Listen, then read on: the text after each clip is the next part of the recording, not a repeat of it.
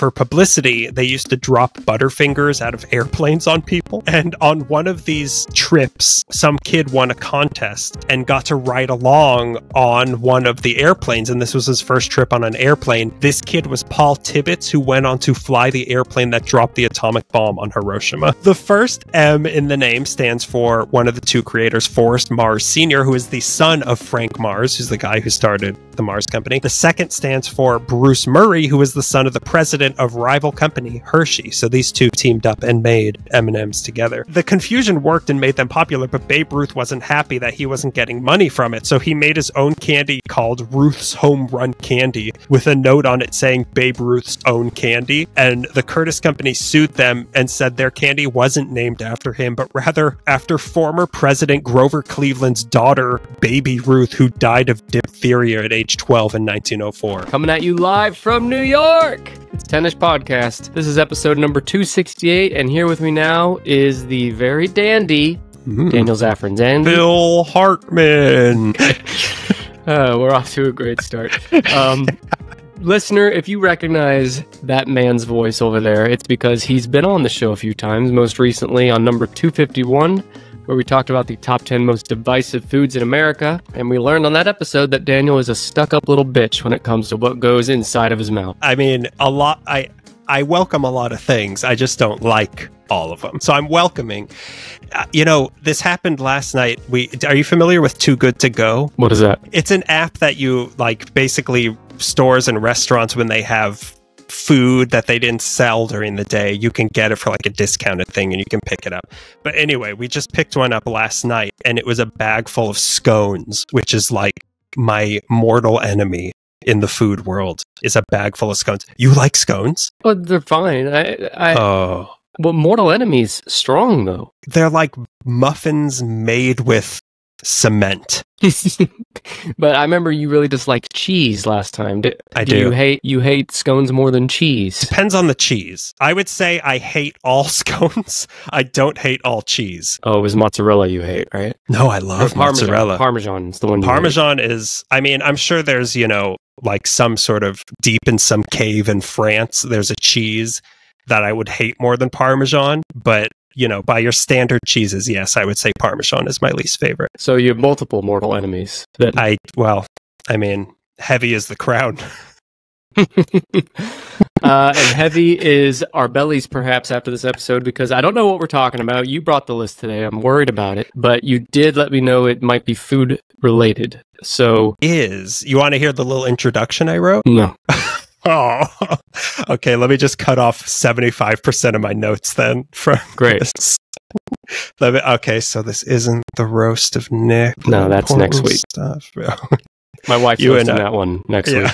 Tom Tom Brady's going to destroy you. my parents are hosting the one after that.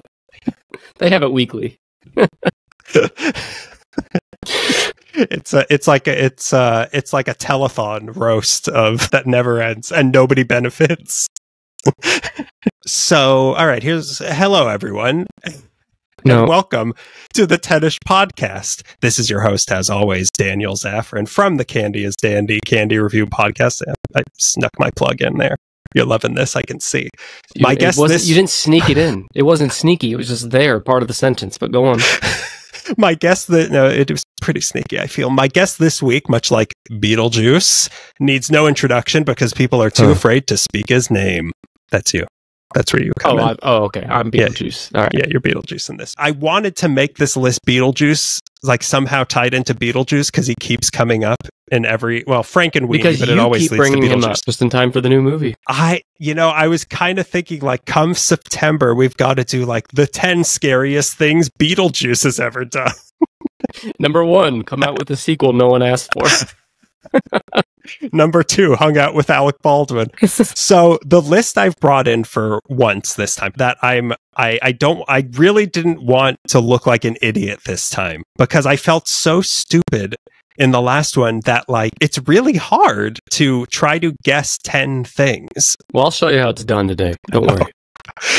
Show, show me how stupid someone can sound on a podcast. I can't wait to see what the What the What the pinnacle- for that yeah. I want to see a pinnacle. how, how stupid someone can sound before the FCC shuts off this podcast. So what what we're doing today, I you know we in the main feed on main as people say we haven't done something candy related with me explicitly just candy related Okay. Yes. so this is going to be the top 10 most sugary chocolate bars it's so specific. Okay. there's caveats here kind of so this list is from spoon university which i got an honorary doctorate Of from course. Gives me a discount at any Applebee's in the contiguous United States. Have you, you ever visited the, honor roll there. But the it's like it's the Dean sushi roll actually is, is what I'm on.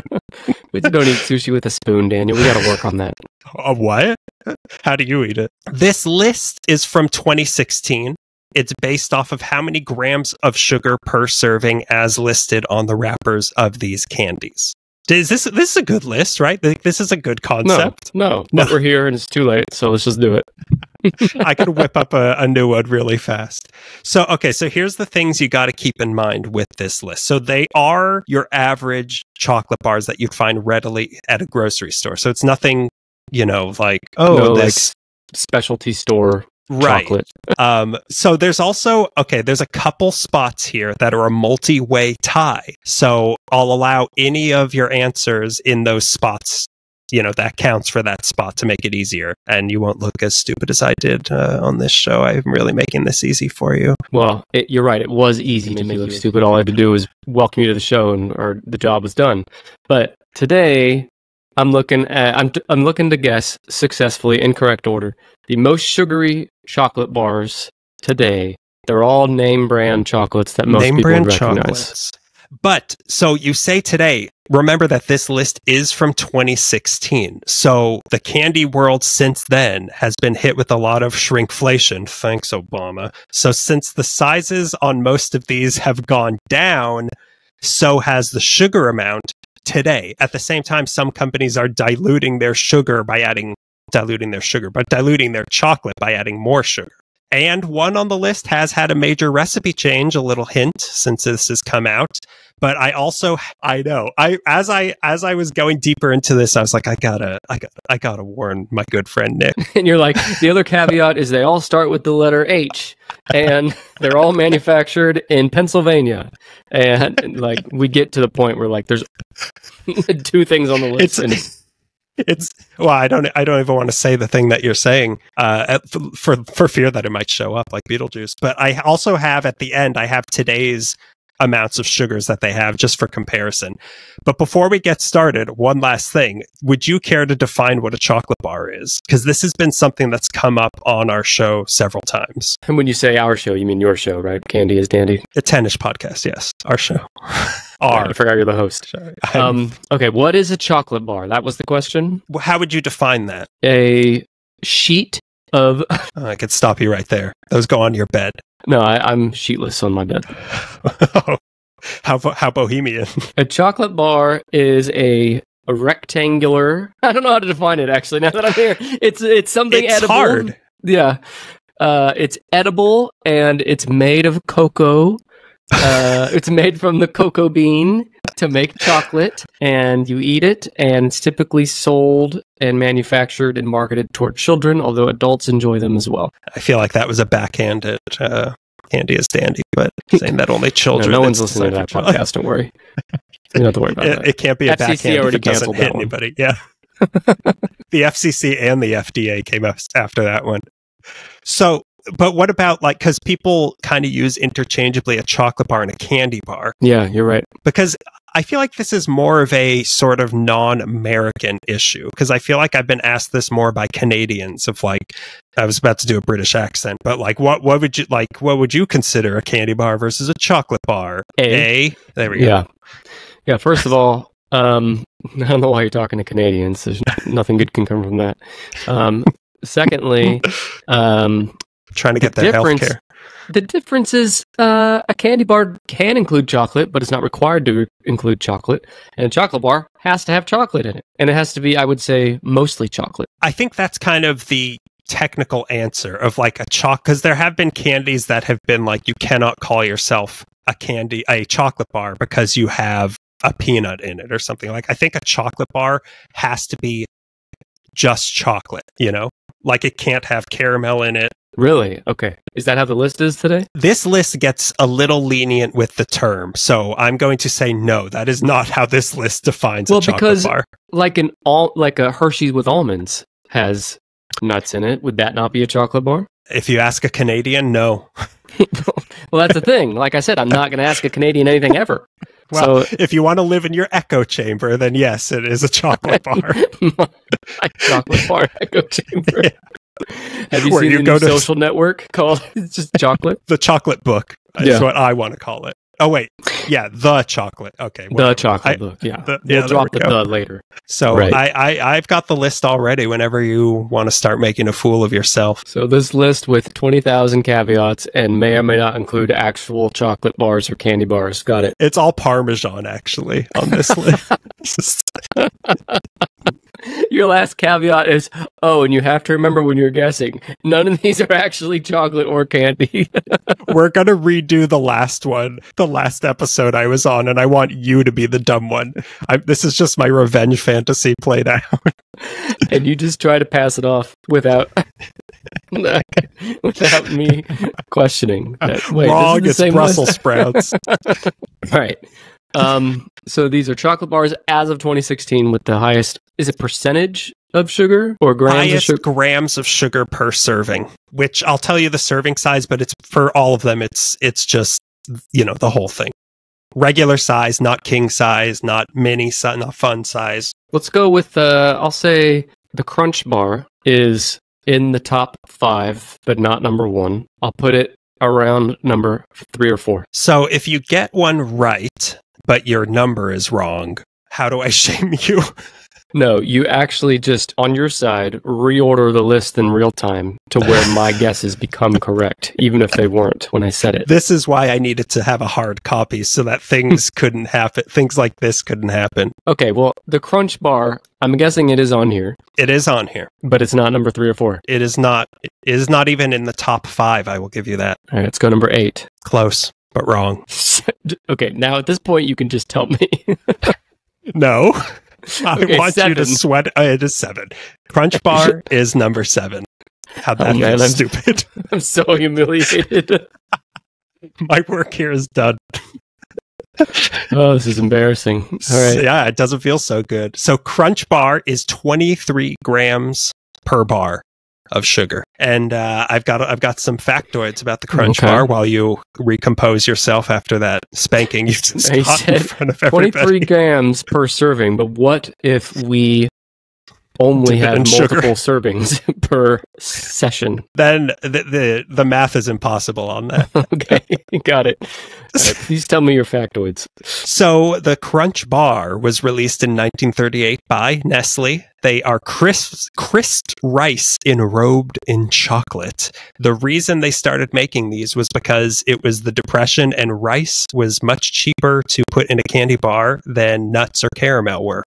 So it was a, it was a cost cutting measure to use rice instead. But they just stuck with it after. When you find a way to save money, you don't go back from that. And this is why I'm a big proponent of AI. Yeah, no, I, I, as we both are. The Crunch Bar, um, well, I'll let you keep going, but I will say I'm, I am a fan. I am a supporter of the Crunch Bar. I am a fan of the Crunch Bar, although when we tried them on, I'll sneak it in again. Candy is Dandy, the Candy Review podcast. It, uh, boy, was that sneaky. It wasn't. they're not so much crunchy as they are. They're they're more crunch isn't the word. It's kind of like spring, maybe like springy Are you or okay? chewy.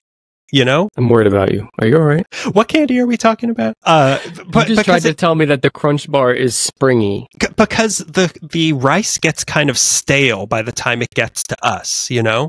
So like I've had the Ghirardelli version of a Crunch Bar, and that actually is crunchy and crisp. These aren't crisp. Crisp, they're good, but they're the not word. crisp. Yes, Crispy, not they're not springy. crispy. They're squishy. They're okay. I'll give you that. That they're more crispy than crunchy. The Crunch Bar is right. That's what you're trying to say. I would say they're. I would dare say they're more crunchy than crispy. They should be called crisp.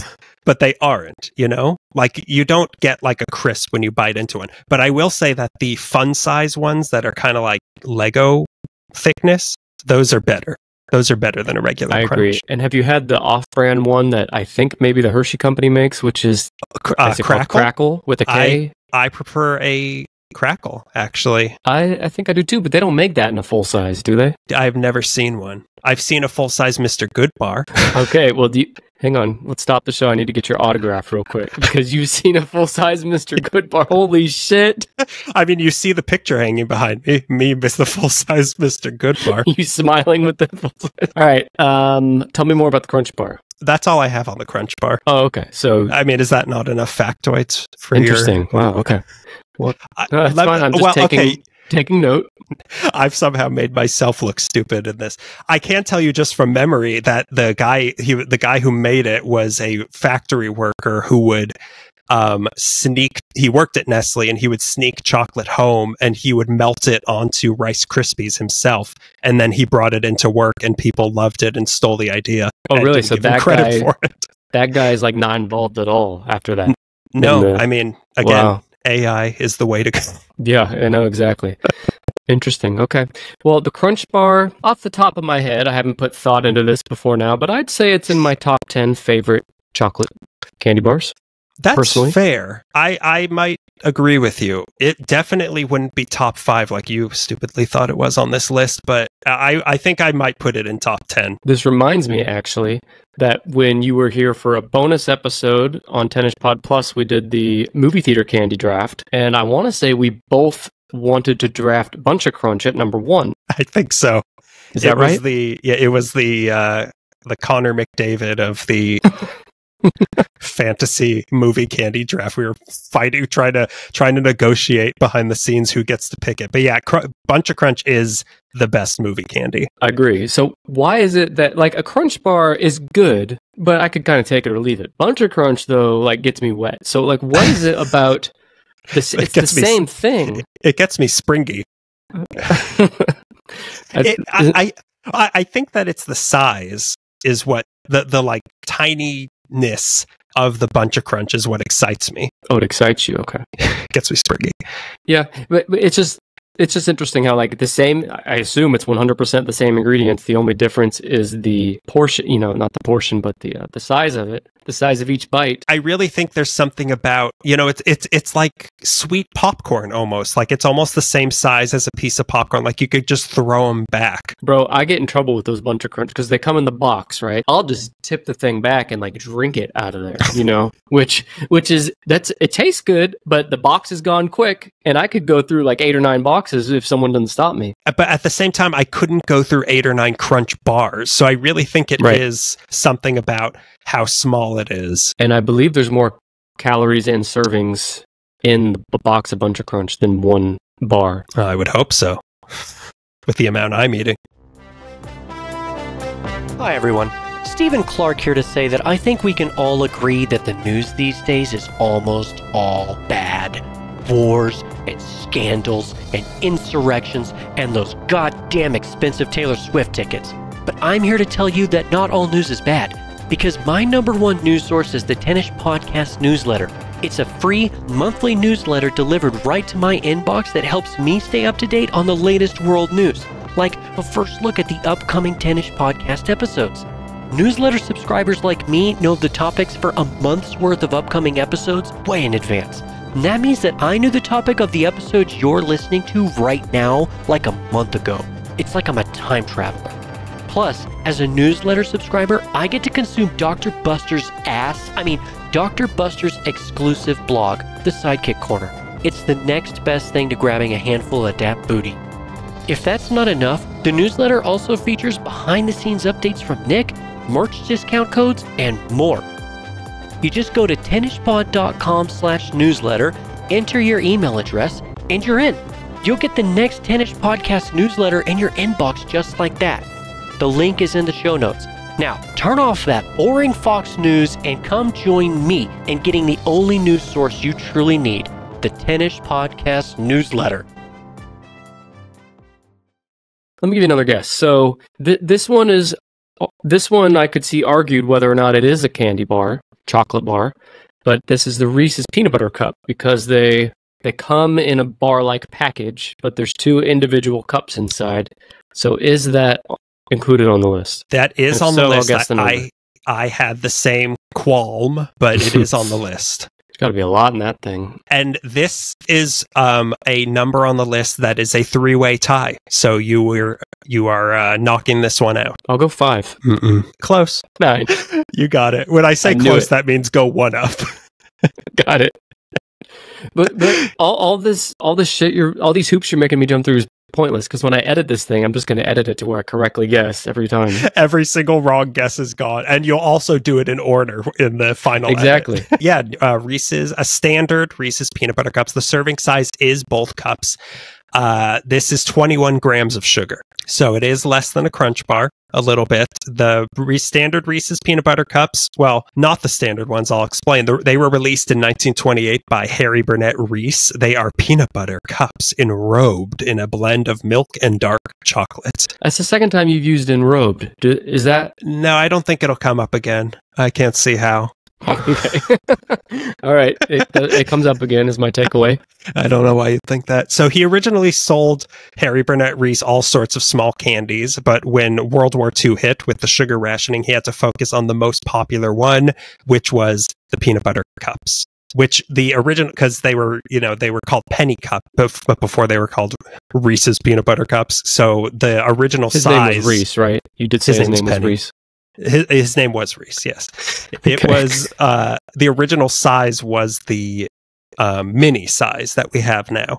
That's The what they, you individually know- wrapped ones. Yes. That's Yeah. what they would sell at like uh, you know, the counter of a grocery store for a penny. Inflation, am I right? Thanks, Thanks, Obama. Obama. Yeah. Say it together, everybody. Well, Reese's, I feel, first of all, it's Reese's, not Reese's, right? Of course it is, but Reese's. yes, but there I it, it doesn't make any sense why people call it Reese's, but it is agree. it is so powerful of a thing that it makes me wonder like is there some reason for it or are people just stupid? It actually makes me angry because it's a person's name, apostrophe S. His name is Reese. Here's the thing about Reese's. Um, I'm talking about like the full regular size um, now, like the you know the two peanut butter cups in the orange wrapper. There, there's less of it inside the wrapper than there is of a Crunch bar. That's my problem with the Reese's because based on taste alone.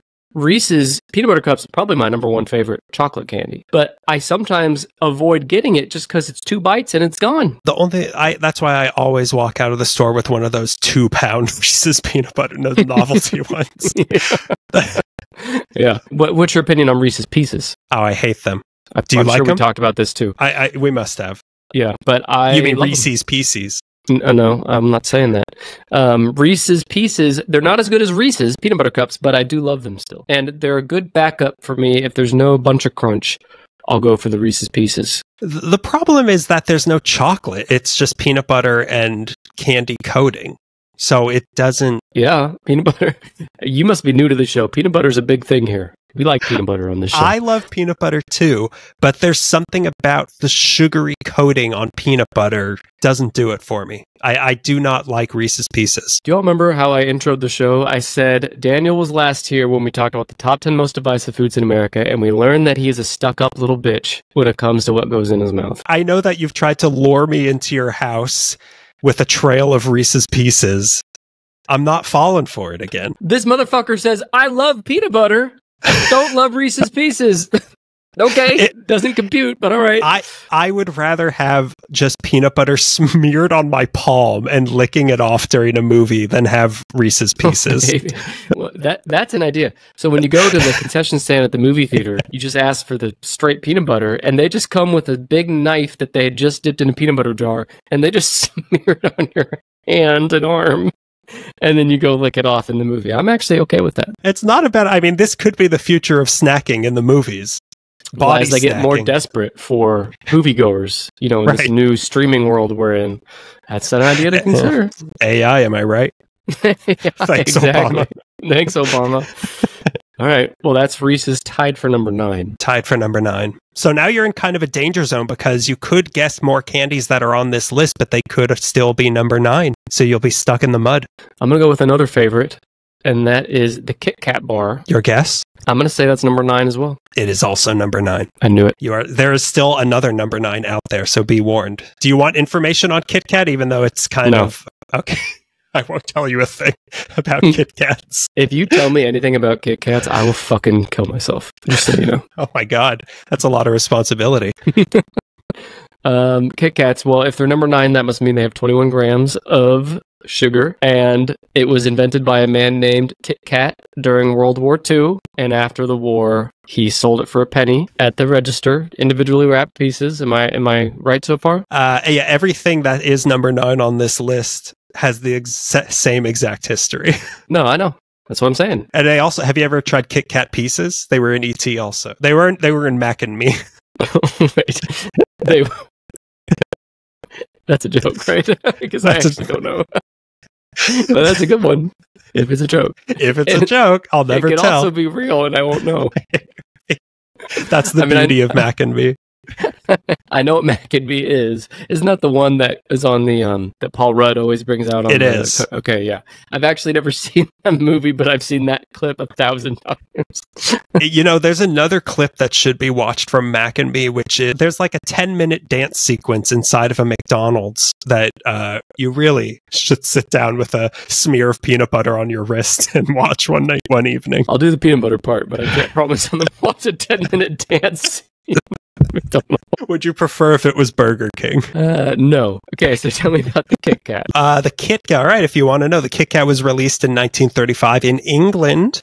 They are wafers containing layers of a chocolatey cream made up partially, the cream is made up partially of ground up Kit Kats, and all of this is enrobed in chocolate. That must be a candy term. Enrobed.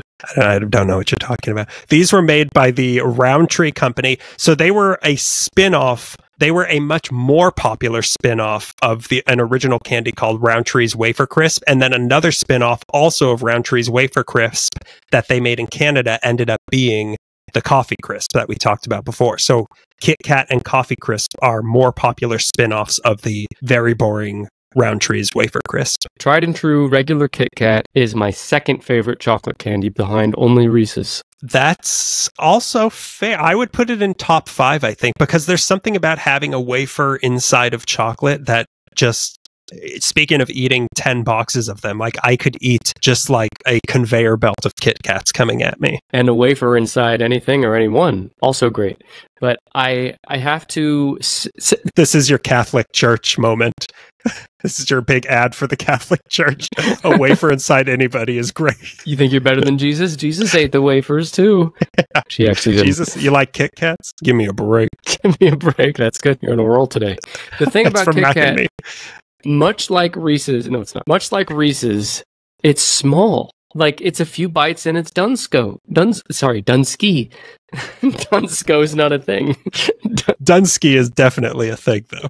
it is. I I th- I do agree, but they are more comparable in size to a regular. If you eat all of them, you know, like the raft that they come in. If you eat all of them, that is almost a full candy bar, Do you break them off into pieces, or do, do you just eat Uh, it like one big thing? like a pan flute. That's what I do. I really do. I I- just eat the whole thing. I break them off, but I would like to try it pan flute style. You're corporate shill, then. You're falling into the corporate marketing that Kit Kat does about breaking off a piece. Got it. And I always give it to a friend. Or is Yeah, that that's how- Twix? so you're choosing left or right, and that will now be my next guess. Twix candy bar, the only candy with the cookie crunch. That's that's on here, yes. Twix is on here. Okay, so I will I will say you have every single guess you've made has been on this list. And I Right. cannot say the same for myself. Correct. I'm not a jackass. One of us is a jackass, and it ain't me. At least not when it comes to candy, chocolate candy. Other other areas, I might very well be a jackass. Up for debate. Twix will put it number four, You were doing so well. eight, No. Three. No. five, Uh close but in a different way. six. It is it is 6 and 6 is a five-way tie. Holy shit! so you have got the 6 out of the way. So just every candy that's ever existed is on this list, I guess. It's number six, pretty much. So a Twix has 24 grams, and that is both pieces is 24 grams total. Twix was released in 1967, also in England. They are shortbread cookies covered in caramel enrobed in chocolate. They did not come to the United States until 1979. Really? Wow. It seems pretty late, but that's when they came. The name is a portmanteau of the words twin and sticks. Twix. Wow, how'd they ever think of that one? Some marketing genius. Well, you know, I laugh. We laugh about that, but that's really what happened. Like they Yeah. were probably batting names around in a boardroom somewhere. Someone came up with Twix, and the rest is history, as they say. The Don Draper had his epiphany, and they said Twix. It's true. And I have to say, like, we haven't really talked about it much, but the marketing campaigns behind these candies are so ingrained in pop culture for decades. Think about break me off a piece of that Kit Kat bar and the Twix, maybe not decade, it's been like a decade maybe, but the left Twix, right Twix thing is really clever and it's been successful. That's much like the Reese's Reese's thing of like they talk about it so much that I started thinking, well, what is the difference between the left and right Twix? Right, you're a jackass. We, we talked about that. But I made the list. That's not possible. There's no difference, Daniel. They're the same thing. Uh, I'll get back to you in a, a, a few thousand calories. Okay. Twix, um, well, you're probably going to tell me about. Oh, you already told me. They were I, I told you everything I know about Twixes. I love. Twix, but to me, Twix is Twix is probably in my top ten, but near the bottom of the top ten. They can't come close to Reese's or Kit Kat for me. I feel the same exact way. That my take on my take on Twix, which is a new segment on my show, uh, which is the 10ish podcast, is that it may be better than candies I would put higher on my list, but I have it lower on my list. You know, No, I don't know. like I think a Twix is a probably better candy than a Crunch Bar, but I might put a Crunch Bar above a Twix on my Do you mean just like quality rankings. wise? Just like Yeah, just like objectively, what's a better okay, objectively, yeah. candy, but I prefer other things. Twix, I kind of have to be in the mood for it. Kind of, kind of candy. Like I could eat a Kit Kat a trillion times a day and be and be asking for more. But a Twix, I feel like I'd get tired of after uh, after the first one or two. The shortbread cookie inside is another wafer sort of thing of like, it- it'll keep me coming back for more. But will I be happy with myself? No, Let's find out. it's Tune in, tune in at 10. It's kind of like Dr. Buster's booty clap. It it'll it'll get you coming back for more, but you will not be happy with yourself later. be happy. No. Well, okay, Twix at number six, and there's four other number sixes, right? There are. So don't, so there's two quagmires you could get stuck in. Okay, well, let's go with another one with a really successful marketing campaign, and that's hungry, grab a Snickers, because Snickers satisfies. And I'll go Snickers tied for number six. Wrong. Right about Snickers, but wrong about six and Four. five. Wrong. Two, Wrong. one, Wrong. four. Did you miss four? Wrong. Eight, Wrong. nine, Wrong. ten. Right. But this one I have a problem with. I feel like their math on the Snickers here was wrong, but it is listed as number 10 on this list because they say it only has 20 grams of sugar. Maybe in 2016 it did. I don't know. But it is number 10 on this list 20 grams of sugar for the entire bar. And did I say that the uh, Twix is 24 grams of sugar, by the way? I don't know if I said that. Uh, I got that, yeah. it bears repeating. One. of course, of course. One of us is paying attention to your own notes and your own episode. Well, if, maybe if I had it printed out, I'd be more on top of this. So, the Snickers was released in 1930 by the Mars Company. They are peanuts, caramel, and nougat enrobed in chocolate. They were the second candy bar released by the Mars Company behind Milky Way. And my next guess. I don't want you to take credit for putting Milky Way in my head because I was already thinking of guessing that next. Uh, we'll let the listener decide uh, who incepted who on this. The name for Snickers comes from the name of the of uh, Frank Mars's one of his prized horses, Snickers. So they named it after the horse. Mars. They do Snickers, Milky Way, M and M's. Mars do, bars. No, Hershey does Reese's. Uh, Yeah. Who does Kit Kat? Is that Reese's? Uh, is that Hershey? Kit Kat is now, I think, owned by Hershey, but it was a different company initially. I gotta tell you, man, if I'm at the candy aisle, I will never choose a Snickers. Like, if there's a mini sized Snickers in a Halloween basket, I'll eat it then. But I'm never gonna go buy it myself. I just don't love it enough to pick it over any other candy. You and I are so much more alike than you ever will admit to the public because Can you excuse me? I gotta jump out a window real quick. can, can you excuse me? I threw up all over my shirt. I acknowledge that Snickers is quote unquote the king of candy or the steak of candy, as Greg, the co-host of Candy is Dandy, snuck it in again as he Wow, was describes that it. number five? That was number ten. It was the Ten-ish. It's a ten-ish It's- time. I feel Snickers is so boring and middle of the road. I as well. I would never pick a Snickers. I would never pay for a Snickers. I I'd gladly eat a fun size on Halloween, but I would never willingly pay money for a Snickers because it's so boring. I'm with you. They're doing something right because everyone else is fucking picking them. I guess. You know, look at Jimmy Fallon. You know, like look at like the most popular things are just kind of not like lowest Candy common. podcast. We're the Jimmy Fallon of candy review podcast. You know what? I, you know how I think of Snickers? I think of Snickers similar to how I think of Pepsi. I don't know anyone. I have never been at a restaurant or a store ever, and someone just says, ah, "I'll have a Pepsi." I've I've been somewhere where they say, "I'll have a Coke." Oh, we don't have Coke. Okay, fine, I'll have a Pepsi. But no one has ever just said Pepsi first. And I'm sure those people are out there, but I don't encounter it very often. And I feel the same way about Snickers. People are out there buying Snickers. I don't see them. I don't know who they are, but someone's out there buying them. I don't know. It's just like kind of this boring, established brand that kind of feels like everyone's backup brand. I do know some people that would that do willingly say Snickers is my favorite, but I think people some people aren't very willing to be adventurous, you know? Like it's a safe choice. And much like Jimmy Fallon, I think that's what people can just be like, okay, I won't be offended. I won't feel like I've wasted something, be it I mean, money or that brain 69 cells. cents is a, is a huge risk, I know. For people at the candy aisle. Boy, want to play it safe. Nick in his ivory tower doesn't know about shrinkflation. Thanks, Obama. Uh, in my uh, Kit Kat tower, more like. Um, well, we, we said Milky Way. Everything I said about Snickers, I feel the same way about Milky Way. I'll never buy it first. I'll eat the fun size on Halloween. That's it. But is Milky Way on the list? Milky Way is on the list. Number nine, Wrong. six, seven. No, wait, I already have seven. Eight. This is so bullshit.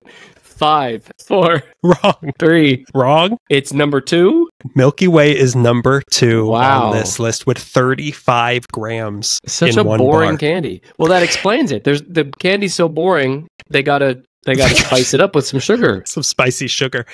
I I um agree that I think Milky Way is boring, but I find it to be a lot more exciting than a Snickers, oddly enough. It's kind of different. If you were to blind taste test me, well, don't blind taste test me.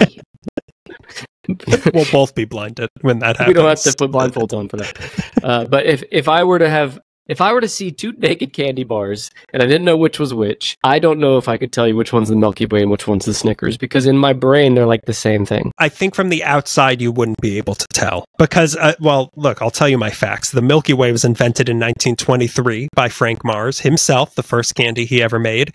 They are nougat and caramel enrobed in chocolate. so it's it's the same thing as a as a Snickers pretty much, but minus the peanuts. But the milk, the idea of the Milky Way was to recreate the taste of having a chocolate malted milkshake. So there's a slight maltiness in a Milky Way that I prefer over the blandness of a Snickers. That reminds me of another guess I'm going to have in a minute.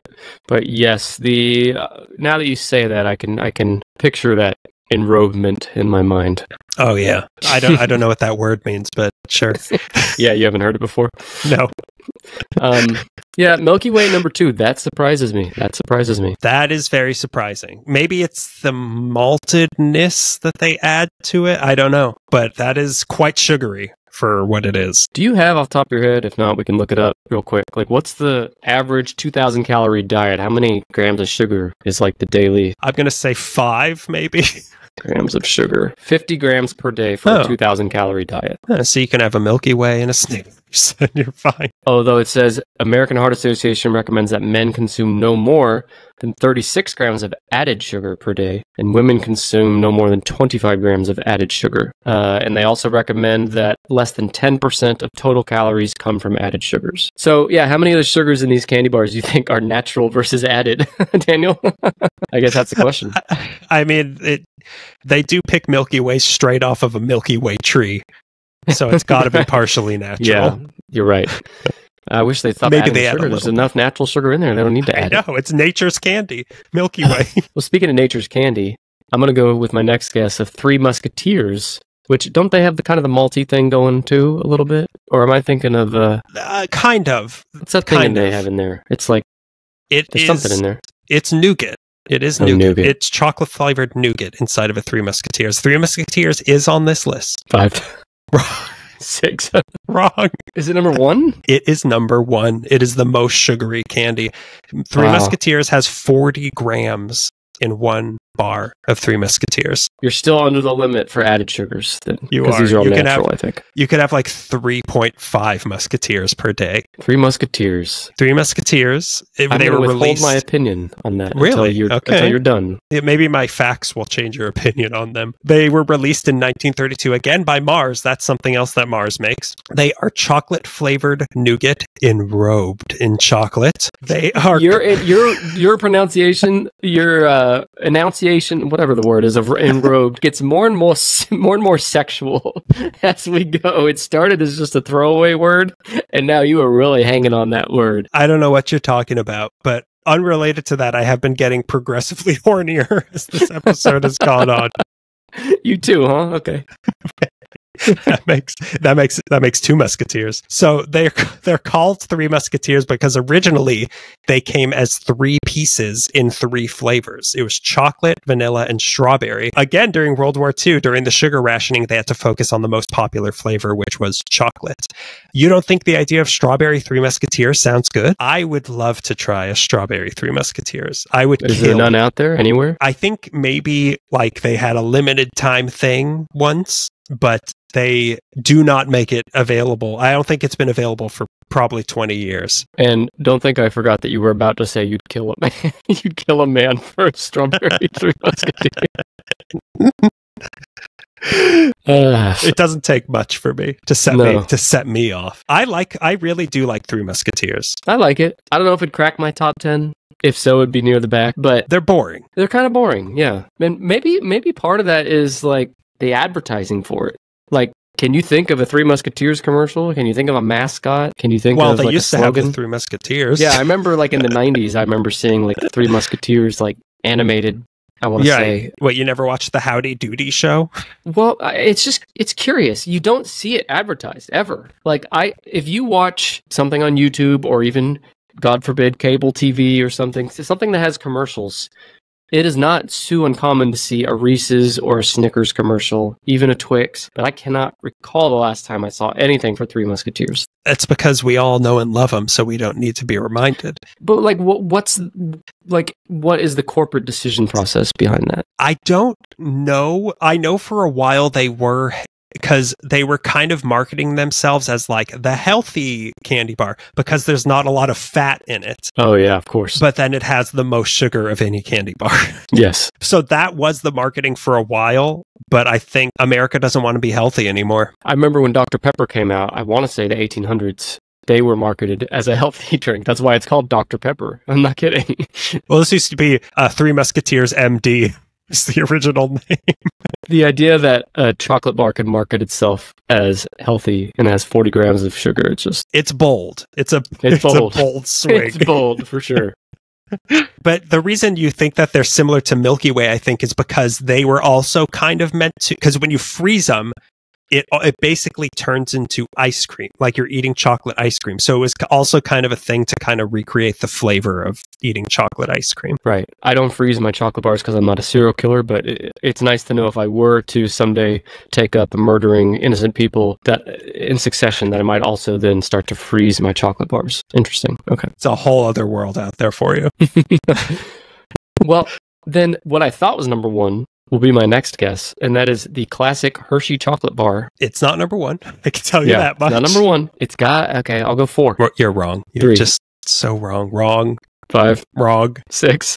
It is one of the ones tied for six. Okay, I knew it. Maybe I wonder because I, I don't want to I don't want to have to rush things at the end. So maybe I shouldn't give you the factoids on the ones that you already that are one of the tied ones. Tell me the facts on Hershey. So a, a regular Her- again tied for at four at 24 grams.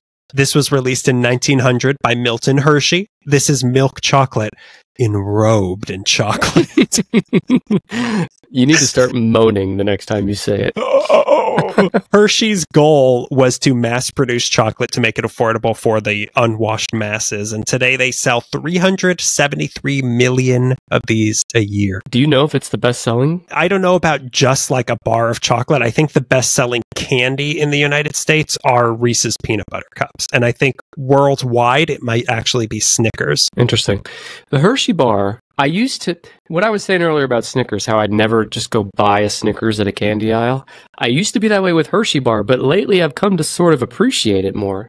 I don't know why. Maybe it's just because it just tastes like pure chocolate. I know it's not pure chocolate, but it tastes just like there's no interruptions, there's no distractions. I don't need nuts, I don't need wafers. I just give me the chocolate, and I like a good Hershey bar is probably top five for me. Really? That my grandma used to always have just a plain Hershey bar, and I think you're approaching my grandma stage of your life. Well, at least I'm not printing out my notes for a podcast, but My grandma had teleprompters whenever she would do anything. whenever she was doing her podcast. okay. Well, I've had a teleprompter up this whole time. Like everything I've said so far has been pre-scripted. Meticulously scripted.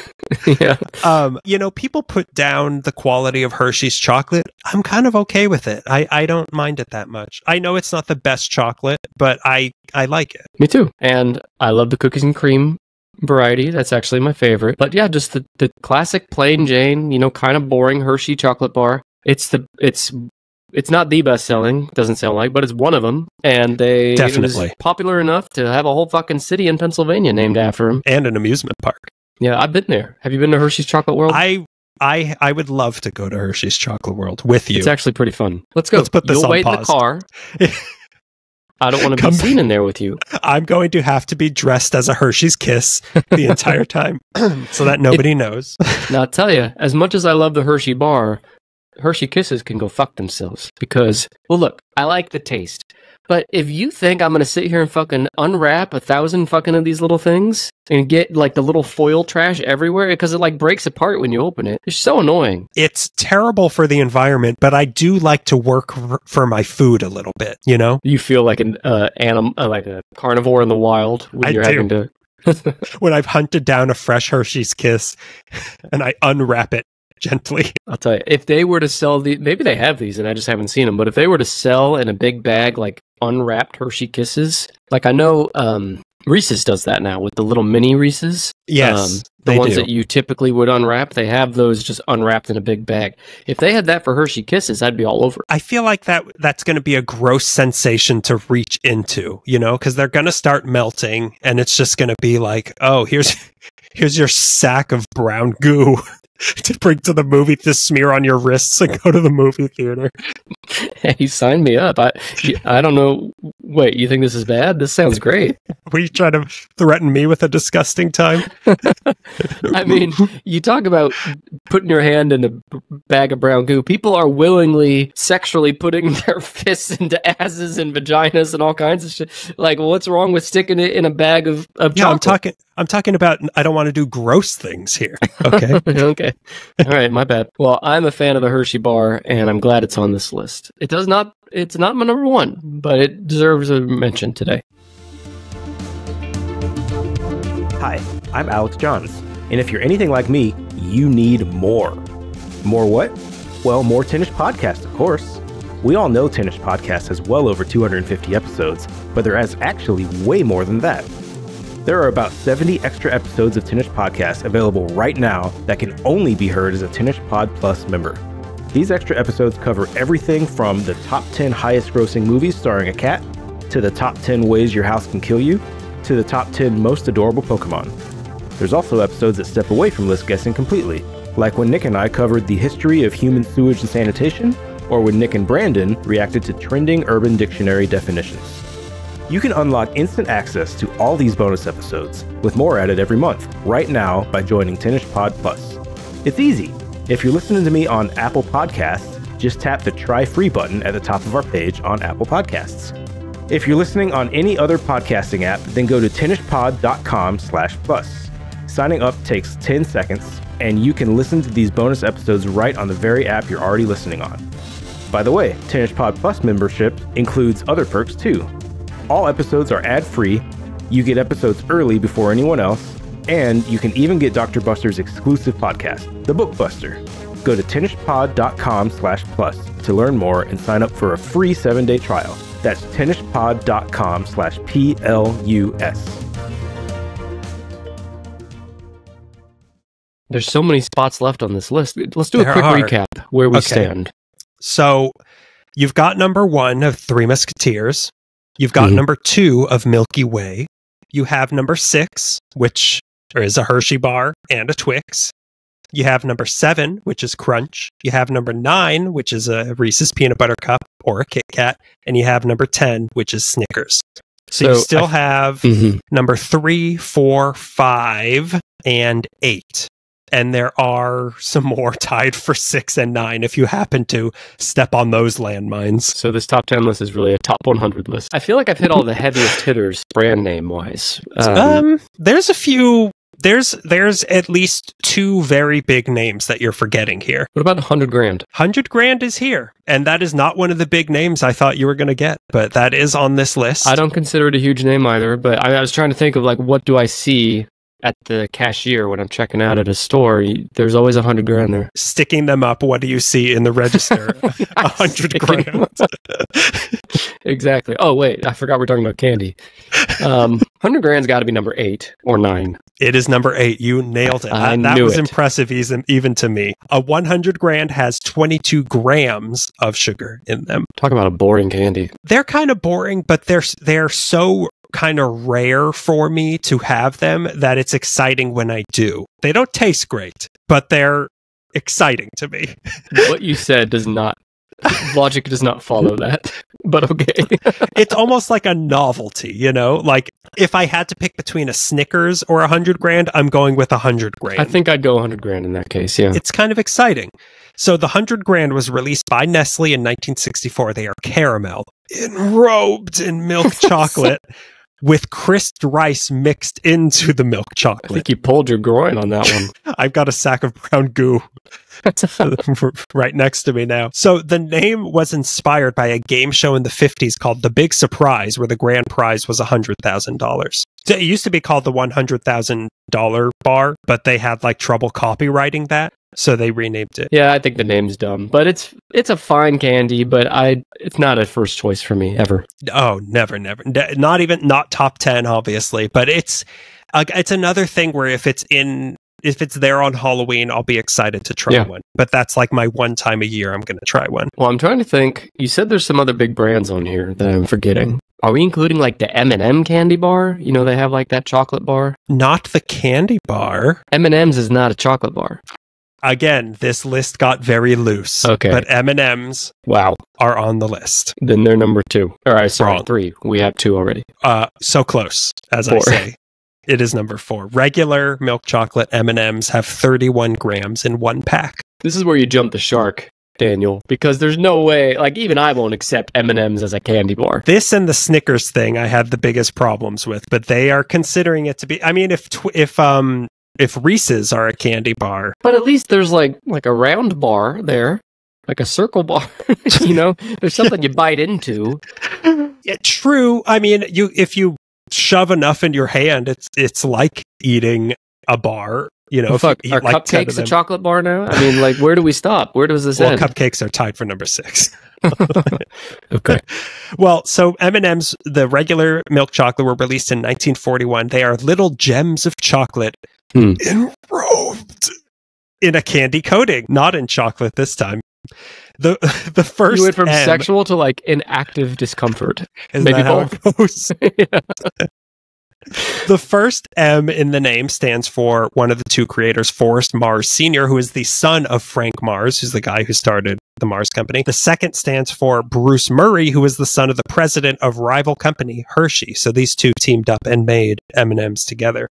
Because I think uh, Forrest Mars hated his dad or something. I don't know. Some it's, there's some drama there. They were inspired by small chocolate beads covered in sugar that Mars, Forrest Mars, saw British volunteers that were fighting in the Spanish Civil War would eat as rations because they wouldn't melt. So that was the inspiration for M and M's. melts in your hand, or sorry, melts in your mouth, not in your hand. melts in your trench. not in your- Well, it's like that's why Eminem had started to manufacture the big brown bag of goo that we were talking about, but they decided world wasn't ready for that yet, Maybe after uh, World War Three, the world will be ready Yeah. for this. which is like next year, I think.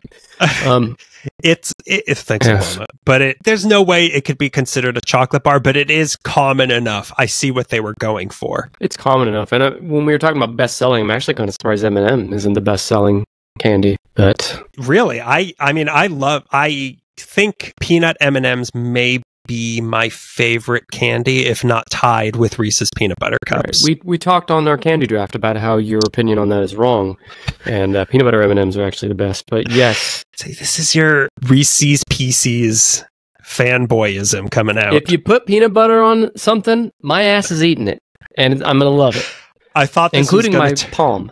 I thought this was turning into your Jeff Foxworthy impression. if you put peanut butter on my palm, I will vigorously lick it off with no shame. Yes. Um, all right. Well, M and M's. I'm skeptical of it, but it, it's I, I see what they were going for. So the other big brand that I'm missing is it also kind of a weird It one is- like M and M's? No, it is undeniably a a, a candy slash chocolate bar. Whatchamacallit? That's a candy. You this is your one? this is your Frankenweenie moment that you guessed what call it, And I said it was a big brand name. Freaking weenie moment. It really was. what call it? A candy that most people don't even know what you're talking about when you bring it up. It's a Frankenweenie moment because when Daniel was here guessing the top 10 movies watched during Halloween, he somehow guessed Frankenweenie over movies like Beetlejuice Well, and I- Hocus I- Pocus. I think your clue was it's a really popular Tim Burton Halloween movie. and you're like, Frankenweenie, obviously. Okay. Well, I could have just said no. You didn't have to. You started all this. Give me a hint on the big brand that I'm missing. Um, I was going to say something that might come out as as uh, it might be interpreted wrong, so I'm going to say a cartoon family Oh, rather uh, than the Butterfinger. color Butterfinger. Butterfinger. That's high. Number three. It is not number three. Number five. It is number five. Those things just taste like sugar. Like I feel like of all the ones, that's the one where I can taste the sugar most. Especially since they've kind of rebrand or they this is the one that I hinted that they retooled the recipe and changed things. So a Butterfinger has 28 grams of sugar. They were released in 1923. They are a mixture of molasses and cornflakes. Oh god, enrobed enrobed in chocolate.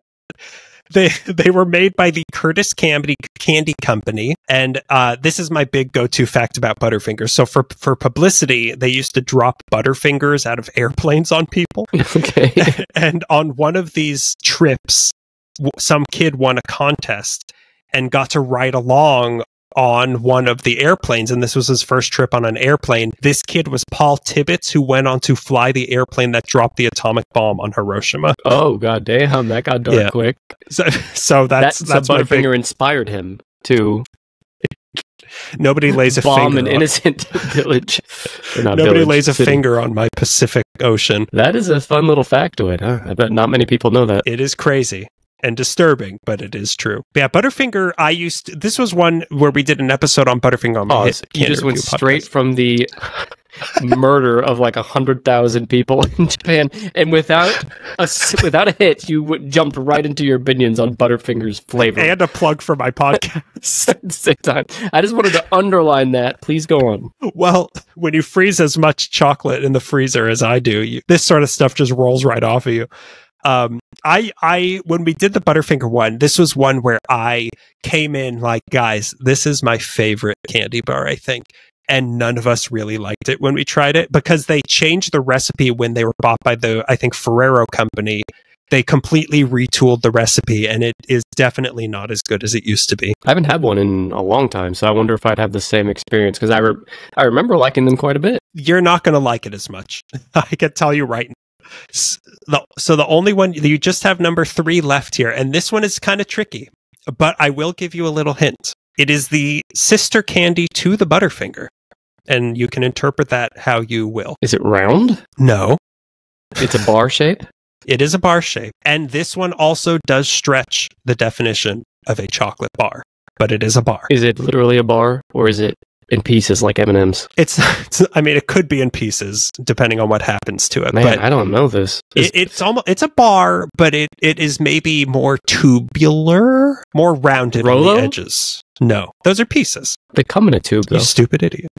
They do come in a tube. I don't know. You might have to just tell me this one. I can't. I can't do that. I can't give you that. Uh, let me try to think of a, a hint that won't give too much away. Peanuts. Payday? so close. Payday actually is uh, tied for number nine. That is the third number nine, There's no chocolate on it. but it is very close to a payday. Keep that in mind. Wait a minute. I, I take that back. There is chocolate on this one. I was thinking of a payday. I was thinking of a payday which doesn't have chocolate. This one does have chocolate on it.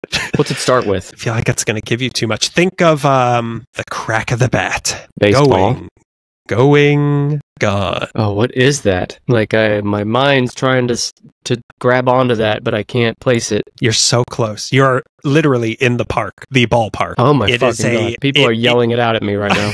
I cannot yeah. place it. Man, this feels so good. Um, I wish I could. I wish I could get this in a brown bag of goo. it is almost named after a famous person Oh, from Babe the Ruth. Babe Ruth. Um, uh, close, Or Baby but what Ruth. is Baby Ruth is number three on this list. You really weren't going to give me Babe Ruth for Baby Ruth. You were going to make me keep going.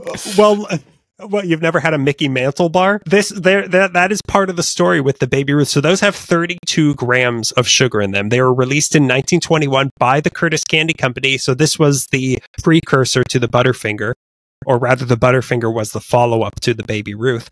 They are nougats, peanuts, caramel, enrobed in chocolate.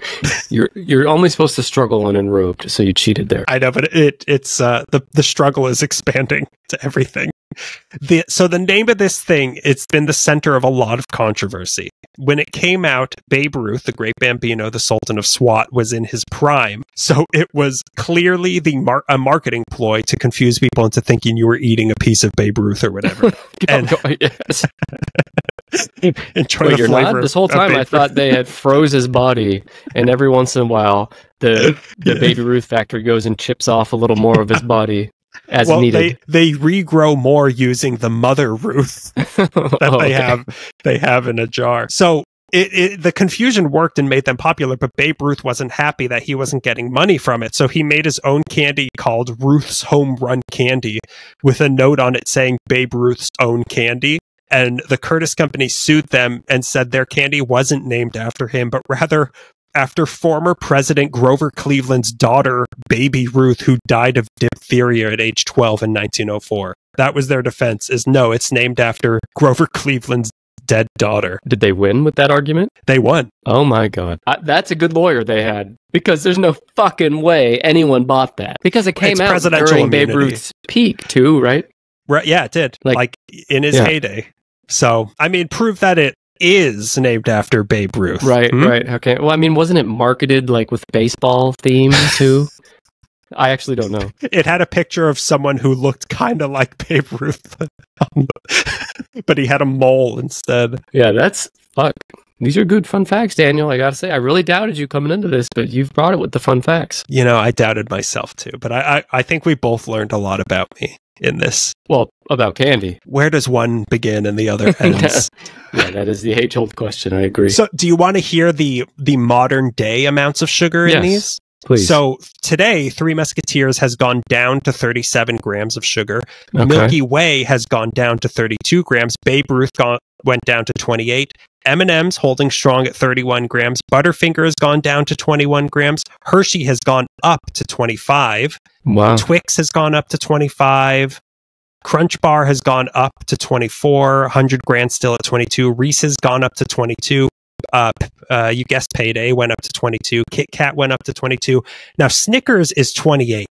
So that's a big difference from what they were saying. They were at so that's why and it was at 28. 20 and it's now 28. So I really have my qualms with, uh, I've, I think I've said that word twice. And that's the only word I've repeated during this I say, drink every time you've heard qualms on this episode, and no other words would make a better choice for a drinking game. The, the biggest, so it looks like the biggest increase was Snickers from 20 grams to 28, and the biggest decrease was Butterfinger from 28 to 21. And that's because of the um, change in the recipe for the Butterfinger.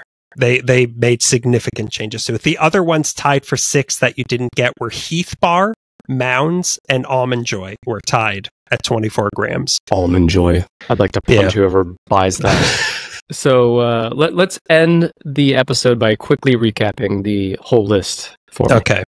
S- So we've Well, I got guess you kind of just one. did that, didn't you? Because you just went, Uh, you just went in order of their. I did. Hey, I'll say it again. People people love hearing my voice. The reviews are Let's in. just do the top five.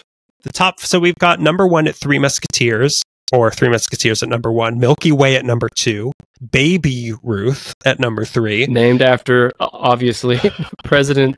Grover? Cleveland's Grover daughter who died of diphtheria. Duh. I mean, perfect inspiration for a chocolate bar, of course. who doesn't want chocolate after hearing that? Number four is regular milk chocolate M and M's. Number five is Butterfinger. And if you want to go further, I'll just say that my personal favorite, my top three personal favorites are number one, Reese's, number two, Kit Kat, number three, Hershey Bar. I would say my number one would be Reese's, obviously. My number two would obviously be a Baby Ruth. Um, Really? no, number Okay. two would be regular M and M's, and I number M&Ms. three, uh, Kit Kat. I'll put Kit Kat at number three. I'd put peanut butter M&Ms above the Hershey Bar. Uh, but regular M&Ms I'd put behind the Hershey Bar. Well, Daniel, this was a list that we talked about today. And the listener can decide who sounded stupider throughout the course of this. Let us journey. know on social media. You can follow me at 10ishpod. That's uh, at 10ishpod on your favorite podcast plat or your favorite social platform. And you can also rate us five stars and leave a review. Please leave a review, a good one, and let me know how dumb Daniel was on this episode. And Daniel, I don't think you've mentioned yet what podcast you may or may not host. Um, Yeah, you haven't snuck in any plugs of any kind. So just if you want to really quickly tell the folks about your podcast. I'd just like to enrobe this episode by mentioning that you can listen to me talk about more candy on the Candy is Dandy Candy Review podcast, anywhere you get your podcast. We do review a different candy each week, give its history, taste them. I would say that, listener, if you enjoyed this episode, there's a pretty good chance you will enjoy Candy is Dandy. So I hope you'll check it out. There's a link in the show notes as well. If you're lazy and you just want a shortcut to the podcast, Daniel, I'll think about having you on again in the future. I need to, I need to, I need to really think about today's episode and how I feel about it. This is going to take some processing and therapy. Yes, I'm going to have to process my thoughts on this, much like these candy manufacturers process their chocolate bars. except Milky Way, which comes off of trees. Exactly. Done. Uh, okay, well, let's end it there. Thanks, everyone, and I'll see you next week. Hey, yeah, me too. See you next week.